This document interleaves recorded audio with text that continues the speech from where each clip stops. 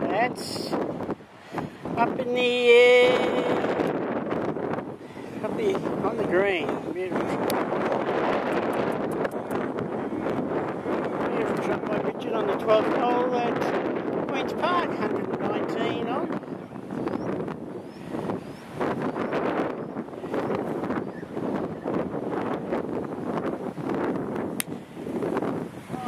Oh, he's way over the left, way over the left somewhere.